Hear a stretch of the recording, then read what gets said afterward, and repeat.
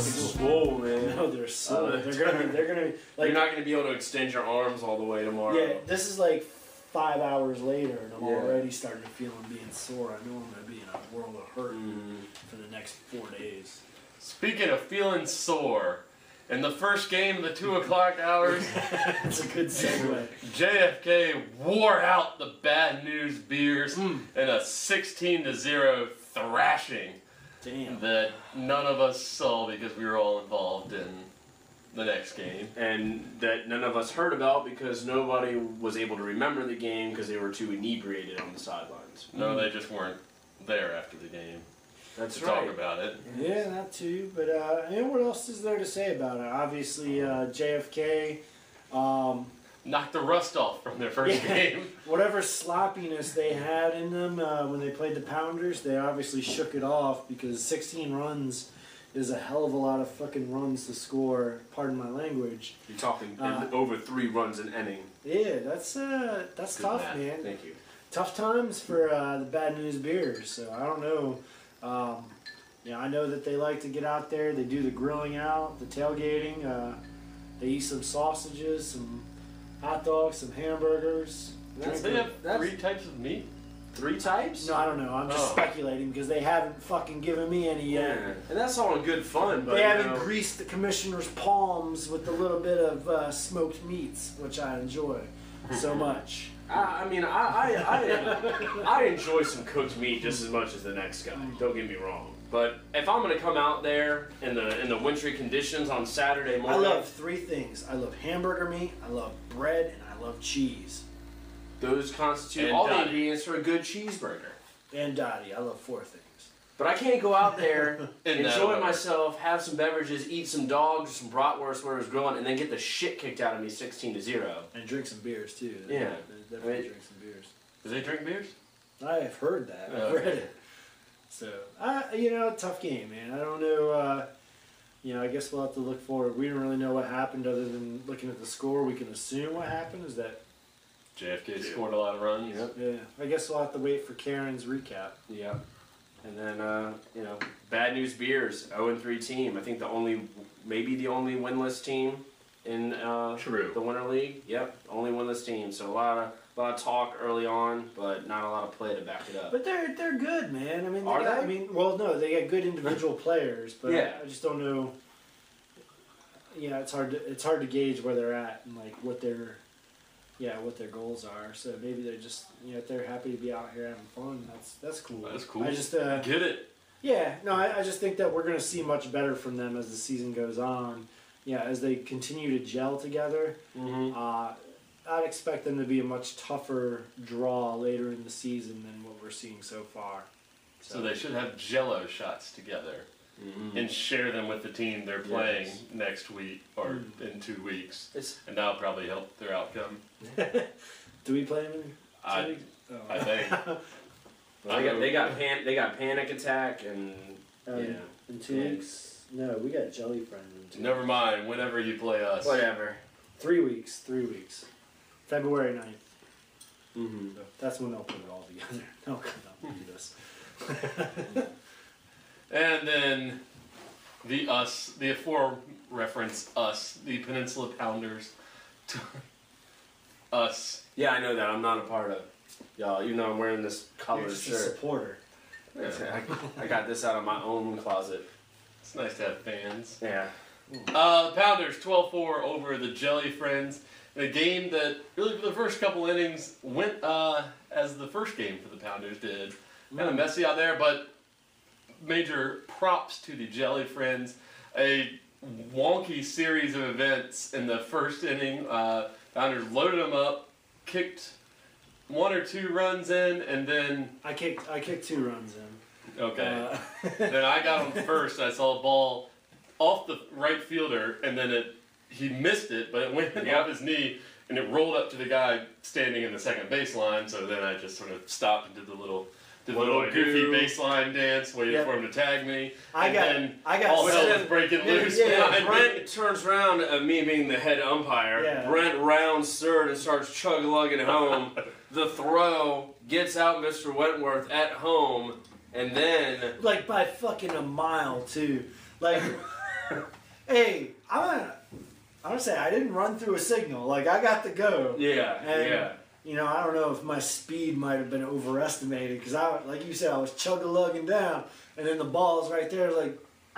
So got tapped, and then the the uh, home plate catcher relays it to third to get the Josh Joyner rounding to third base, the guy who initially kicked the ball that should have been caught, and tagged him right there. I think it was on his shoulder, No, or it- his he arm, was or sliding, yeah, he the was ball sliding. hit him That in was- the yeah, midsection of the yeah. He was very close to being safe. Yeah, That yeah, was- just just an unlucky That was crazy just like, throw. uh, a, wow. a parent throw, but still, nonetheless, got him out for the triple play. Well, yeah, when you look at it, like you get the first uh, five kickers on base successfully without an out, and you think you're on your way to a blowout, and just like that, turned away. You know, but they, um, you know, certainly there was uh, some base running errors on our part. We were a little aggressive all game, really. But uh, that's not to take away from Jelly Friends, man. They made some some throws that were nice, strong, crisp, on target throws. Like Mm-hmm. that throw that there was a good relay from the uh, the guy who tagged you out to the pitcher to home. So I was beat by a mile, but it's Yeah. also in part to their skill, absolutely. Um, There's some, yeah, there's some Yeah. really close ones. I remember Jill sliding into home yeah, uh, on it, and it was just a, a, a nice on target throw by Jelly Friends to get Yeah. her out by just a smidge. But um, And speaking of Jill and I, and forgive me, guy and Jelly friends, beautiful kick that scored their first two runs. First thing there, right down the right field line that Jill's and almost got to. Oh, yeah. Oh, Was yeah. Sliding in on her knees, went down between her legs, but great kick, just dropped it over first, right down the right field line. the Jelly Friends, they uh, I was impressed with uh, their offense. I think uh, defensively they struggled because we overall for the day we had like I think our on base percentage was eight thirty seven or eight thirty eight or something like that. So like we got on base at will. Obviously that reflected in the twelve runs that we scored. Um, but the Jelly Friends offense I think is uh, pretty pretty good, man. They they have good bunters. They have good kickers. I mean, they just uh, they they can put up some runs. And you Yeah. saw it too in your Yeah. first game too. They threw up seven runs on you guys. Pretty dynamic, explosive. Like they this was a close game for most of it. For three innings, we actually uh, I think we had a four three lead going into the fourth inning. And that's when we scored six runs in the fourth, and another couple in the yeah, yeah, I think it was four. I think it was four three uh, going into the fourth, and then you guys just unloaded. And it was kind of like what what was the Achilles heel for us in the first game, uh, where they put up all those runs in the fourth inning against us. But one thing that I noticed was with the Jelly Friends was the pitching, and, and our game was was top notch. And when it got to you guys towards the latter part of the innings, you could, could see them getting a little fatigued, a little errant throws, a lot of balls being thrown. Uh, so they didn't have a doubleheader in week one. They had one this past week. Uh, you know, again in week three they're playing only one game, but I think they're going to get more about like the pitching and how to go about that uh, to not gas out uh, what what seemed to be gassing out there in the last uh, game of the doubleheader. Yeah, we saw I think John Vrooman and uh, Jason Burnett. so Vroom, Vroom, Vroom, Uh, man, that them balls had some speed out there. I'll tell you that much. And the magic of Eric the Beard wore off. Will the magic of Ray Lewis wear off? Topic for next week, perhaps. It will. it will. Go Niners. I do want to give a shout out. Um, we talked about the Lady Pounders uh, in the in the first part of the episode, but um, overall for the day they continued it this week, uh, or the, in the second half of the doubleheader.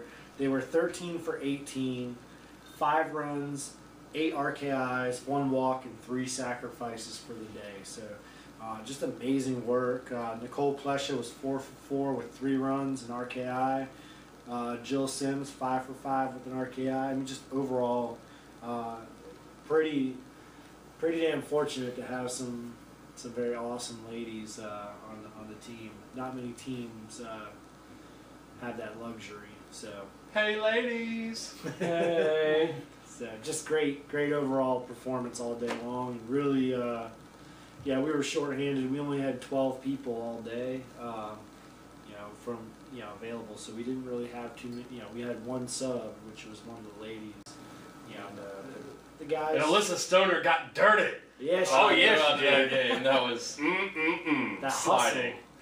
I don't know. You're mm, mm, mm. What? sliding in a second. Yeah. Mm.